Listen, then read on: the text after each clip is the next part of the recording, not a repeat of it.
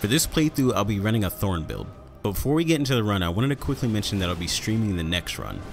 I'll be trying to stream on Twitch, YouTube, and TikTok all at the same time, so if you're interested, go ahead and follow me there. Links are in the description. Anyways, back to the video. I tried to find something on a kind of Thorn build or playthrough just using the Thorn sorceries, and I couldn't really find anything. It seems like the Thorn sorceries are really only used in PvP for some niche builds. Other than that, I don't think they get any attention for a regular playthrough, and that's probably for a good reason. That being said, it's a great opportunity to see how bad they can be. For this build, I'll be using weapons that are thorn related and possibly even flower like. Mainly, I'm focusing on the two thorn sorceries, Varré's Bouquet, and the Thorned Whip. If I find other weapons or items that I feel would also fit the build, I'll include them. Along with the weapons, I'm going to be using the Miranda Sprout Ashes. I think these summons fit the build and shouldn't be overpowered since they're just poison flowers. The goal of the run will obviously be to beat the game, but I also want to take out some of the major optional bosses as well, such as Mohg and Malenia.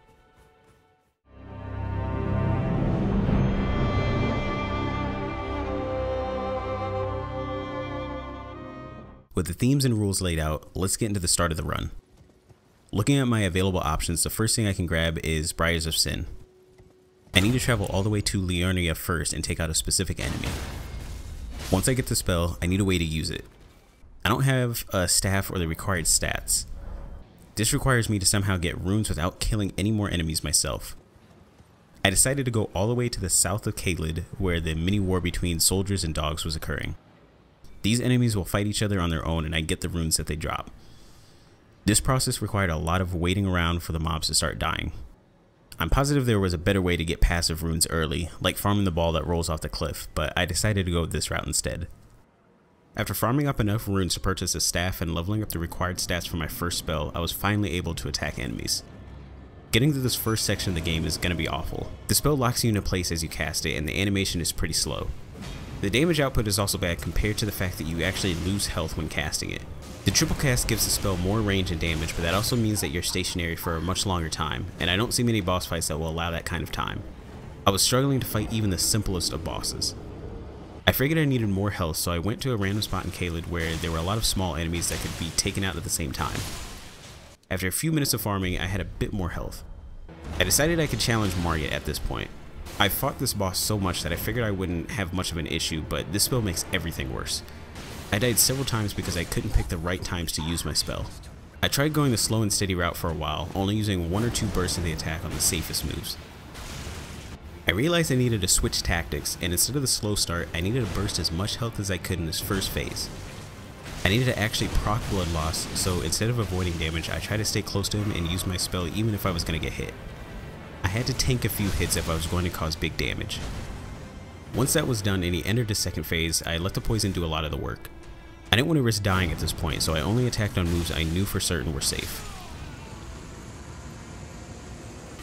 Some more levels or a new weapon will be required if I plan on fighting Godrick.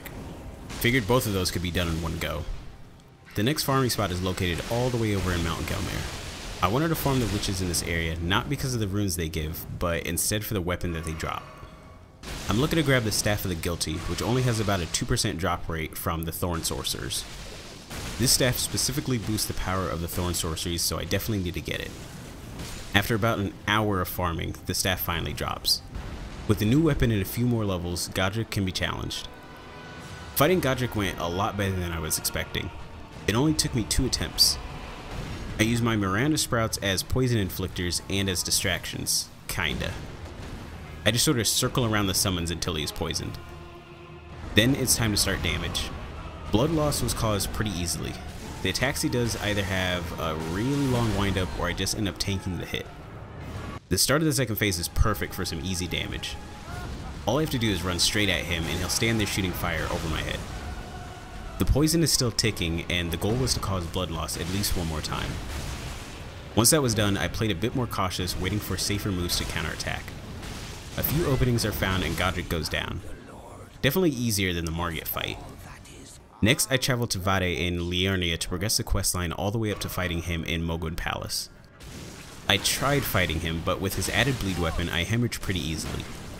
The Macy drops can't even be used by my current stats, so instead of fighting him, I save him for later and head over to the boss that drops the first smithing stone bell bearing. After upgrading my staff a bit, I ran all around the map just taking out any bosses that seemed relatively easy. And when I say easy, I mean I wouldn't spend 30 minutes just fighting one boss. Most of the bosses that were targeted still gave me trouble, like the Red Wolf. Being limited to a stationary spell against a boss that is known for jumping wildly around the boss room doesn't make for the most enjoyable fight. I was able to take out about a third of his health before my summons finally poisoned him. From there, the poison and the extra thorn hits are enough to finish the fight. After fighting all of these bosses, I grabbed the second smithing stone bell bearing from the sealed tunnel in Altus Plateau, upgraded my weapon and traveled to the giant sleeping dragon for some more levels. The bleed in my build helps out with this kill a lot. Once the poison from my summons and all my FP was depleted, I was only left with my staff to do damage. Luckily the staff has innate bleed so after many many hits I can proc blood loss again. It took about 6 minutes to kill the dragon. Throughout the boss fights, I would sometimes take a break and try fighting Varré again, and each time I got clapped. I felt like I didn't have enough resources between my flasks to either keep myself alive or dish out enough damage. Eventually, after my boss rush, I acquired the magic damage boosting tier for my flask. This gave me a better edge against Varré. I had enough damage. However, it still wasn't enough because my positioning in the fight was bad. I kept trying to fight him straight up except for my initial attack. Every time I would start on the cliff looking over his spawn location and allow me to do damage to him directly under me. He usually tried to jump up to me, but that just means he's still within my attack. I figured I need to fight him like this the whole time, where he can't reach me with his attacks but I can still hit him. And I ended up finding a good spot to make that happen. There was a group of tombstones that he would try to attack me through, instead of going around. A smaller tombstone allowed me to jump on top, and from there I was able to attack Varré through the stones while keeping myself safe. Once he was finally dead, I grabbed another weapon for my build. I don't have the arcane to use the bouquet properly yet, and it shows. I try to use it in some situations because it could still cause bleed, but the damage overall was garbage. The bouquet is supposed to be a joke weapon, and it's one of the worst weapons in the game, so I don't expect it to be strong. I don't have too many options at this point, so again I went around farming for runes and killing bosses until I had the proper stats. Also went and grabbed another Staff of the Guilty. Both staffs in hand mean that I have more damage output from my Thorn sorceries. Once the bouquet was usable, my view on the run changed. The experience was pretty miserable up to this point, but I was finally able to deal with bosses that were making me lose it. The damage was still god awful, but the buildup of bleed was a lot quicker. With my improved weapon, I can challenge some more Great Rune bosses, and I start with Rennala. First phase is no problem with the bouquet. I had to break the shield a few times, but that wasn't a big deal. Second phase wasn't bad either, she staggers from most hits. The most annoying part was trying to reach her because she either kept summoning or jumping away. After beating Rennala, I went and grabbed a larval tear so I could redistribute some of my stats. I had several levels invested into intelligence which was necessary for the first staff use, but not for my new ones. So all the levels in intelligence can be put in other stats like vigor, faith, and arcane. Once that was done, I smacked around Grail for some runes and went to Radahn. Radahn took me about 5 attempts. I was glad that I was able to use my mace instead of having to rely on that slow spell. My preferred way of fighting him was jumping attacks. This was because I wanted to break his posture as much as possible. I tried the critical attack at first, but my damage was way lower than I was expecting. Instead, when his posture would break, I opted to use my Briars of Sin spell because it offered more total damage. Everything was going pretty well up until the very end. It wouldn't be an interesting fight if I wasn't low health and no flask left once again. I'm just going to let the rest of this fight play out so you might be able to feel the stress I had.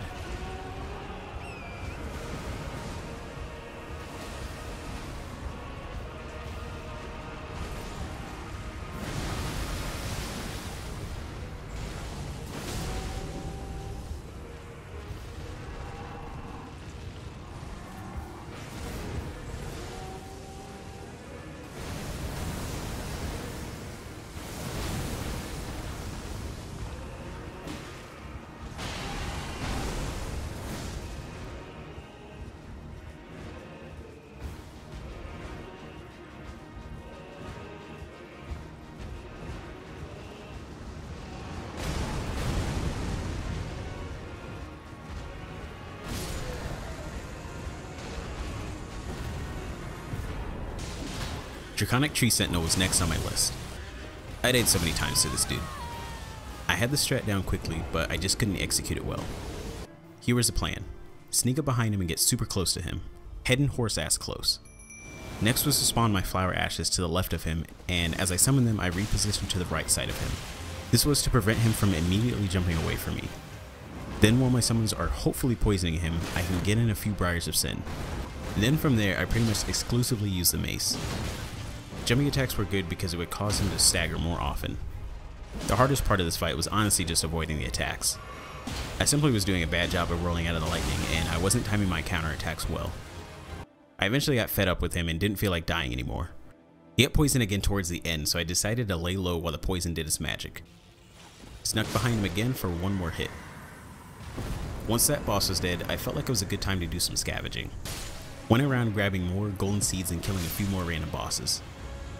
Then made my way over to the Shaded Castle to fight the Briar boss. Weirdly, I've never fought this boss before in other playthroughs, so my first experience fighting him is with this build. It took me a while to get around his weird sword movement, but eventually I had a pretty easy solution. I would just attack his back, usually with jumping attacks. He seemed to always follow up with a shield slam, and the recovery on the attack is super slow. So rinse and repeat with a few ripostes scattered in the fight, and the boss is dead. Now, I fought this boss for one reason, and that was so I could buy his armor. I added the gauntlets and boots to my fashion, and now when I roll into enemies, they take some damage. I then grabbed another fashion statement within the capital. The Alberich set increases the damage of my Thorn sorceries, but I'll only be using the headpiece for now. The altered version as well, because the hat just doesn't fit. Golden Godfrey is not going to hemorrhage, so I have to take a weird and tedious approach to the fight. My mace barely does any damage on its own, so I need to use my spell instead. The problem with that is Godfrey's pretty aggro and he doesn't leave me a good opening to attack him if I also want to avoid taking damage. Well, except for one move. His axe that he does just happens to be a great move to counter on. When he goes to retrieve his axe, he moves further than where the axe actually lands. This means as he's starting the animation to toss it, I can run backwards a few steps and start my spell cast. Ascent does have a short lingering hitbox, so when Godfrey's sliding towards me, he ends up in the range of my spell.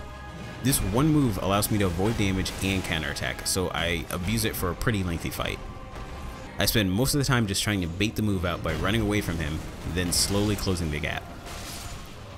Once Godfrey was taken care of, I wanted to upgrade my mace a little bit before fighting Morgott. One of the faster somber smithing stones I need to grab was after Godskin Noble in the Volcano Manor. This would also be decent practice before fighting the duo. Godskin Noble is very weak to hemorrhage, so the duo fight is looking pretty promising for this build. I still had some trouble because this boss is kind of cringe, but after a couple tries I was able to beat him. The fight was mostly jumping attacks and making use of the bouquet weapon art. Once my weapon was upgraded, I went to Morgott. I attempted a couple times and honestly never really formulated a plan. I tried to bait him into my flowers first to start the poison. Once that was taken care of, I tried to do as many jumping attacks as I could, eventually causing hemorrhage and also stunning him. When the second phase started, I tried to play a lot more cautiously. Certain moves felt better to attack on, like the Blood Flame attack he does. There were still a lot of jumping attacks, and also when getting a critical, it was nice to do a wake up weapon art.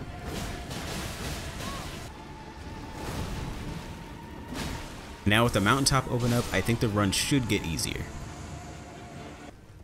First stop on the mountaintop will be where my new spell sits. Briars of Punishment operates similar to Briars of Sin, but this version is a tracking spell with more range instead of being an AoE around the player. Also in this location, I'll be grabbing a new weapon. The large enemy here uses a Thorn Whip and has a chance to drop it. With my increased Arcane and a Fowl Foot, it didn't take long for it to drop. I finally have a weapon that can do some damage on its own without completely relying on a status buildup. Did some testing with my new whip on a couple bosses and it seems like it'll be fine for the rest of the game. The real challenge will be Fire Giant. And a challenge he was. Died quite a few times here. I felt like a little ankle biter with the lack of damage I was doing. Originally I had went with the mace. Wanted to really focus on status proc instead of primary damage, but I changed my mind. The mace is really good for making the red liquid come out, but its base damage is bad. Combined with Fire Giant's resistances, it seemed better to just use the whip. The whip has more base damage and will still cause hemorrhaging. I stayed on my horse for a majority of the fight, chipping away at his ankle. Eventually was able to get him to half health and start the next phase. While he's spewing rocks, I use a couple Briars of Punishment. Then for the rest of the fight, I get in a few hits on his arms when I can, but for the most part I'm stuck whipping his heel. I preferred to stay directly behind him so I could avoid getting caught up in his stupid rolling. This was a super long process, and dying usually meant another 8 minute fight. After Fire Giant, I realized I had forgotten about the last piece of armor I needed for my fashion. So I went back to the capital for the deathbed dress.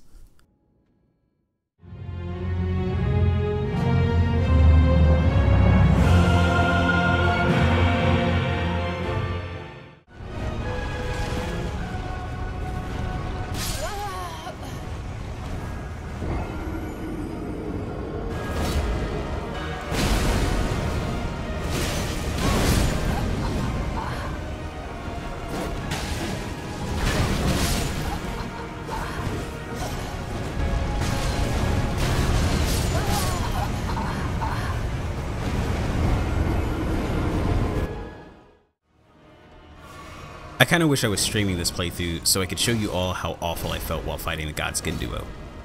But I'm also glad I wasn't streaming because I would not be able to keep my composure. This fight is absolutely awful. When watching boss ranking videos, Godskin Duo always seems to be considered the worst boss fight in the game. But I think somewhere in my head, for some reason, I wanted to somewhat like them. But thinking about them now, I think it's just the music I like. They are just two bosses that are thrown into a room that don't work well together. The build I have is great for blood loss. The bosses are so weak to it that it should be a pretty easy fight. But that little weakness cannot overcome the input reading, double aggro, meat grinding, infinite respawning hell that is this fight. Focusing on the big one was the goal the entire time. I have more practice with him, and I just think that his moves are easier to deal with. Well, all except one.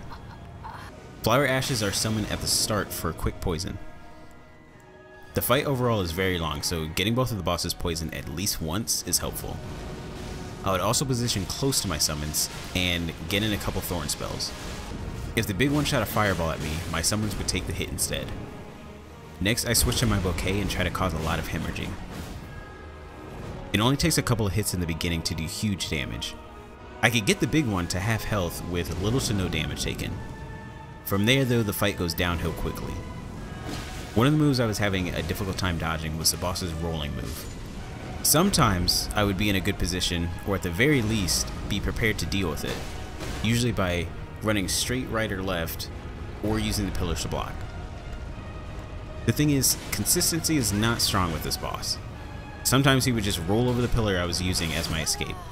Sometimes he would double tap me, and other times he would just hit me against a wall where all I can do is wait to die. When I could survive on the pillar, I would switch to Briars of Sin and comfortably use the full triple cast. Eventually when Big Boy dies, I would try to finish off the small one before he resummoned. I don't like fighting the small one, so I would only try this if the small one was already almost half health from the poison. Don't want to get stuck with a phase 2 skinny boy while Big Man's up. I think all of this fight is bullshit, but I can still chalk it up as being my fault for not dodging perfectly or not having good positioning. At least that's what I thought until this happened.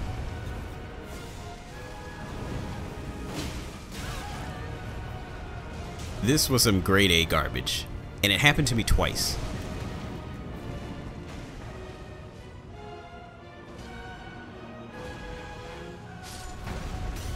This was my breaking point, and I called it quits for the day. Picked it up the next day optimistic. It took me about 30 minutes until I tasted success. I grinded a few more levels, but other than that, I didn't actually change my strategy. In the beginning it was mace usage until Noble was dead. Then I pretty much melted the Apostle.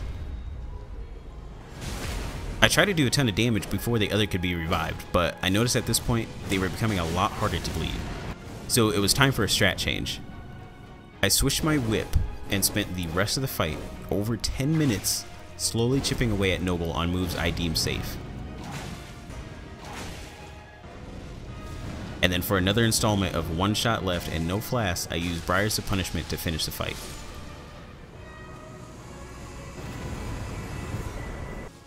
When I got to Maliketh, I knew hitting the dude was going to be the hardest part. I went in thinking that the mace was going to be my go-to weapon, but as I went through a few attempts, I started to notice something.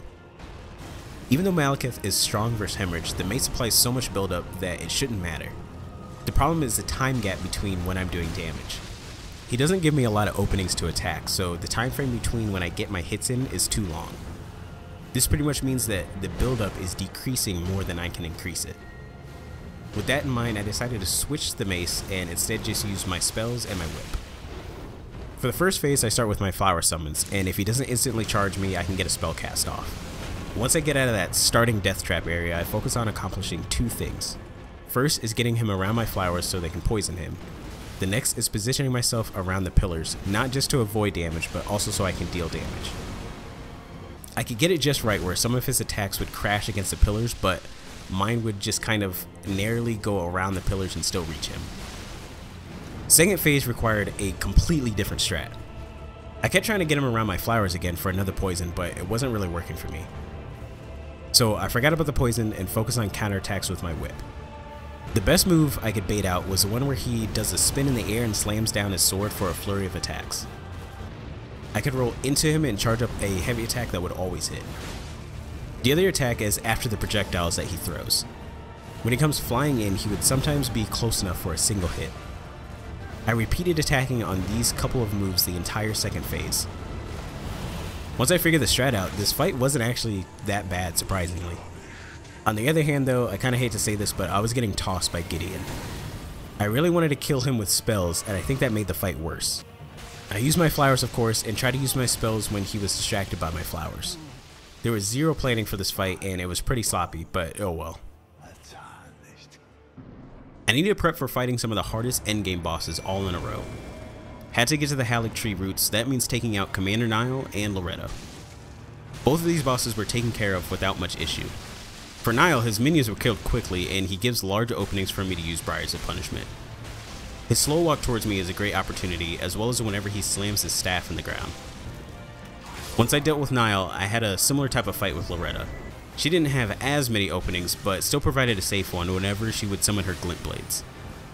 I still tried attacking on other moves and was usually punished for doing so. The best damage though was whenever my summons would hit her. She'd be distracted a bit giving me a decent window to spam spells. I started to choke at the end and took some of Loretta's arrows to the face. Then I got caught in a roll. She could have coughed on me and I would have died. I definitely couldn't use my spell anymore, because I would just be ending myself. I just needed to finish the fight with my whip.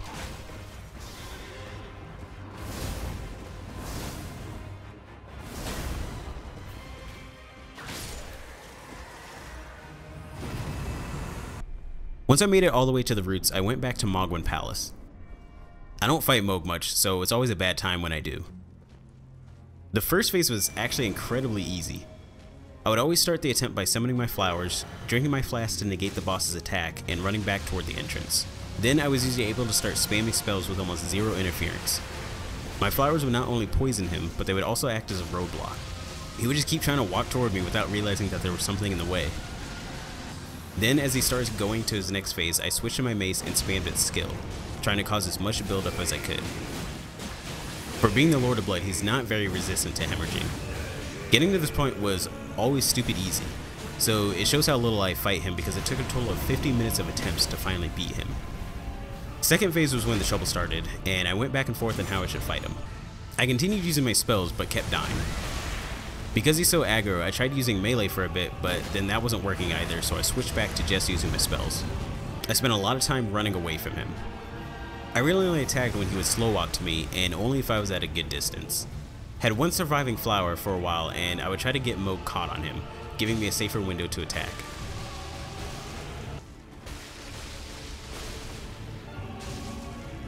I think the difficulty of the second phase makes up for the ease of the first.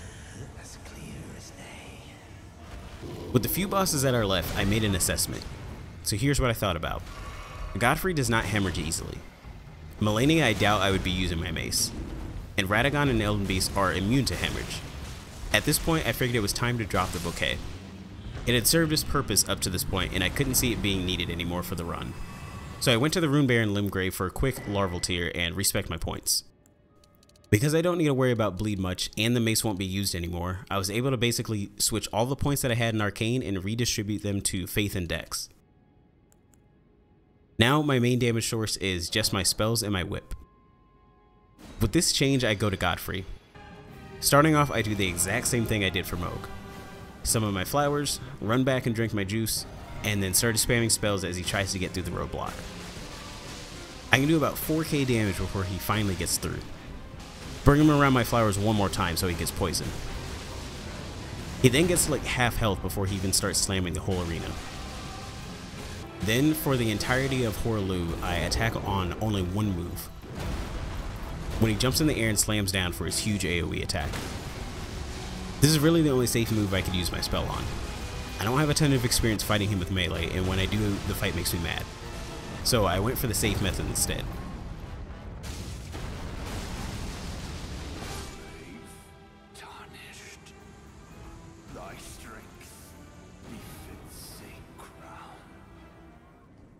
It was time for me to head back to the Haligtree and challenge Malenia.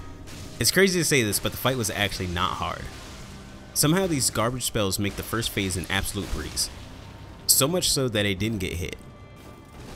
She doesn't detect that the spell is coming at her, so she doesn't jump out of the way. I can create a large distance between us and use Briars of Punishment as she slowly walks towards me.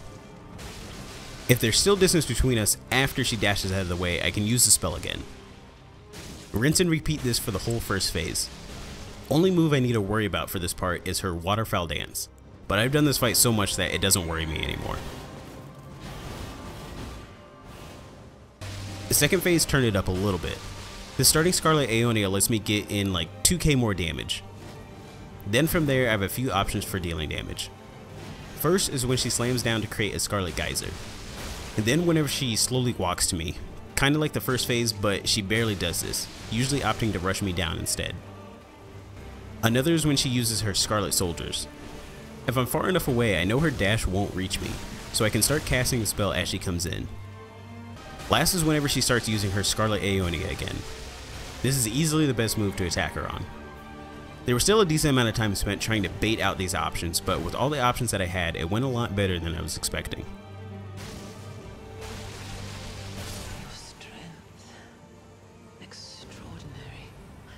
It's finally time to end this run. I actually had a lot of trouble with this fight. I had like two hours of attempts. I couldn't really decide if I wanted to fight Elden Beast with my spells or with my whip.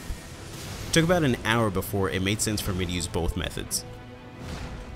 I used my flowers for Radagon since he could still be poisoned, unlike Elden Beast. Radagon would take a nice chunk of damage from my spells. The issue was finding an opening to use them, Based solely on his moves, I could really only damage him when I was far enough away from any of his hammer smashes, as well as whenever he does his large AoE attack. Other than that, I was trying to get him hit by my flowers the whole fight, which was the most annoying thing to try to do. By the time he would be right up next to my flowers, he would start throwing a, another holy lightning at me. When he did turn his attention towards one of them, I had the best opportunity to damage him. The goal was to get through this part of the final fight using only about one or two healing flasks. Wanted to make sure I was super healthy for Elden Beast. For Elden Beast, I try to stay aggro in the beginning. First breath attack is easy damage, but then I try to stay close to him and keep whipping the shit out of him. I was able to keep doing this for about half of his health. Then he started to try some more ranged attacks. My favorite being the Holy Slashes. Move is super easy for me to dodge, and at the end I have enough time to use my spell twice. From here it was just rotating weapons. If I had an opening for an attack but wasn't close enough, I would use my spell. Otherwise, I was right up next to him using my whip. And with that, the hardest build I've done so far comes to a close.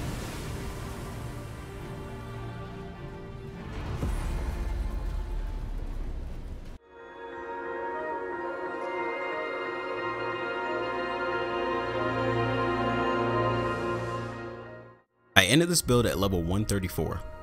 Overall, this was the most challenging build I've done so far. The beginning was the worst part of the run. Being limited to only Briars Sin makes for some super hard fights.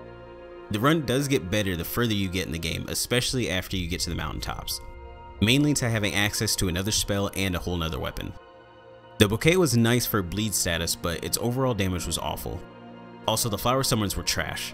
Being able to poison a boss is super helpful and makes for a much easier fight, but other than the poison, the flowers were just too derpy and unreliable. I had to do most of the work by getting the boss around the flowers. Many times I was hoping that they would hit the boss to pull aggro, but they rarely did. Instead, they just wiggled to the bosses before taking 15 seconds to charge an attack, which by then the boss is out of range. Malenia was probably the most surprising fight. Hopefully even a new option is available if you find yourself struggling with her. Now, there was a change that came out recently. Patch 1.07 which buffed Thorn Sorceries and buffed Blood Tax, which is the weapon art of the bouquet, among many other changes. What sucks is I was already at Elden Beast when this change came through so I didn't get a benefit from it. That being said though, if you want to use those spells, they should be better than what's shown in the video. I know this video took a while to get out, but I plan on getting videos done quicker now. Had vacation, work travel, and was sick all in the last month. Hopefully with all that out of the way, I can get videos out a bit faster. As mentioned in the beginning of the video, for the next build I plan on streaming it, so if you're interested in viewing the run as it happens, I'd love to see you all in chat. Thanks for watching.